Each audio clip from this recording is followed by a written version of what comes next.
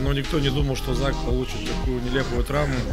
Э, ну, здесь уже на усмотрении лиги будем рассматривать этот э, момент, который произошел. Но еще раз повторюсь, мы приехали играть в хоккей, но если будут э, нападки на нашего вратаря, мы это не оставим.